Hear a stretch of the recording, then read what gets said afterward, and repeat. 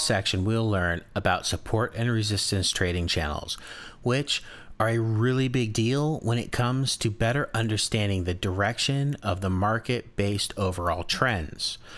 Oftentimes, prices will bounce around in a channel, giving you multiple opportunities to buy wisely and sell profitably. There are many different types of trading channels you can learn to use, and each brings unique perspectives with it. But you certainly don't need to learn all of them, not even all the big ones. The Monk Support and Resistance Trading Channel section will offer you an introduction to drawing and trading with channels.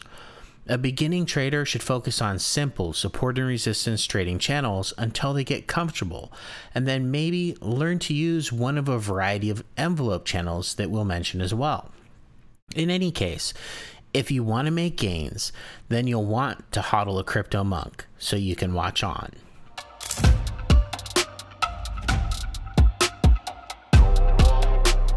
The fact is that respected trend lines like support and resistance levels and moving averages require multiple tests to break.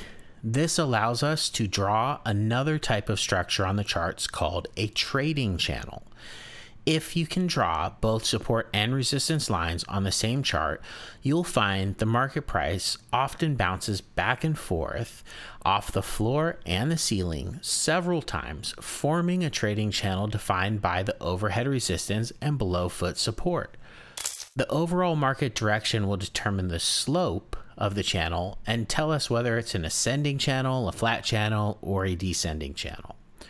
When a test of channel resistance fails to break the ceiling, then the price is sent back down into the channel. And if a test of channel support fails to break the floor, then the price is sent back up into the channel.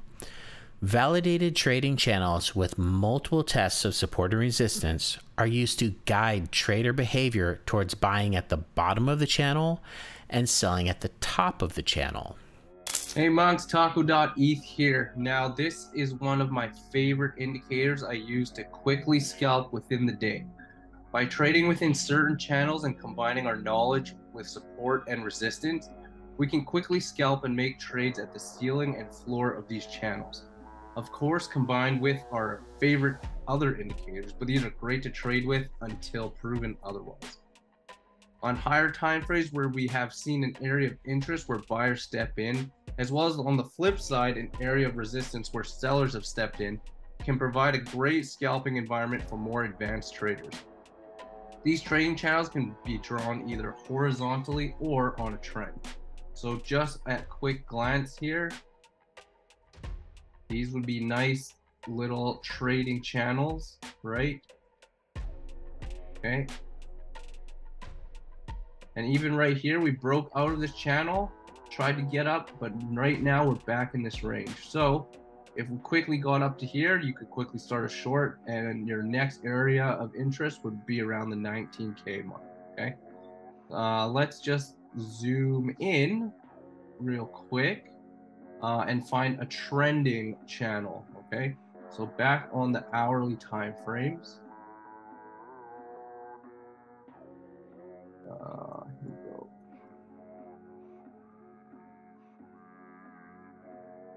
Okay, so let's draw a trend line from here.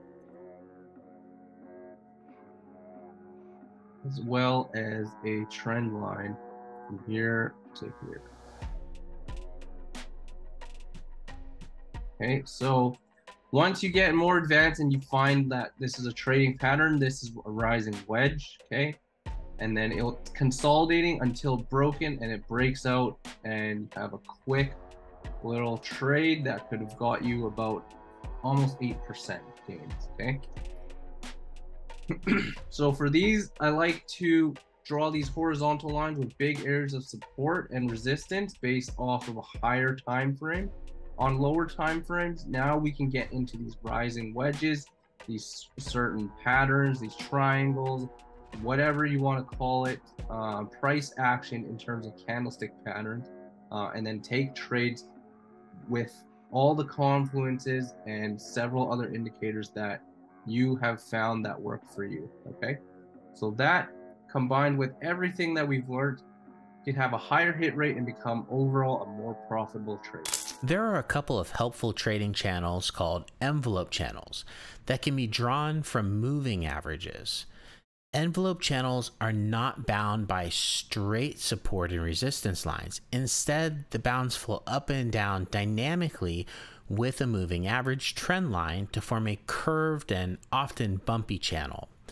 They aren't as helpful as support and resistance channels if you're trying to draw an extension of a channel to predict the future price levels. Instead, their role is to provide a channel that tells you when an asset is overbought or oversold based on how close the price is to the top of the channel, the overbought area, and the bottom of the channel, the oversold area. Envelope channels are also different because the height of the channel tells us about volatility. Less volatile price actions cause the bounds to move closer together, whereas greater market volatility has the opposite effect, creating a widening channel. Two commonly used envelope channels you may wish to use as a trader are Bollinger Bands and Donchian channels. Trading channels help you improve your odds of making winning trades by providing an expected range that the price will bounce around in. Properly identifying a respected channel may allow you to maximize your profits by hinting at the best levels to repeatedly buy and sell an asset as that price bounces around. As you can see, that could be a very useful tool.